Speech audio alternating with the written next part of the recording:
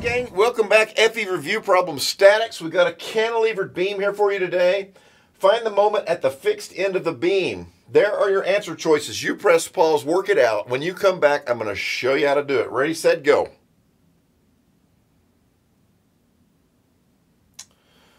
Alrighty, ready? I think this one's pretty easy.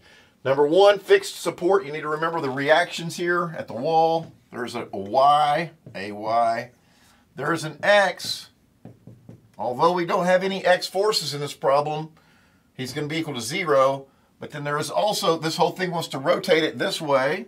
So the wall says, I got you, and rotates it the opposite direction. And there is the moment. That's what we're after is MA. Okay. How do we get that? Well, that's pretty easy. Take the sum of the moments at point A. Okay. Now this is a distributed load. So if we turn that into a concentrated load, we apply one big force in the middle of the rectangle at 4 times 12. That's 48. Okay. And so the moment is 48 going negative, right? So minus 48 times how far away? Well, it's in the middle of the rectangle, which is at 2. Okay?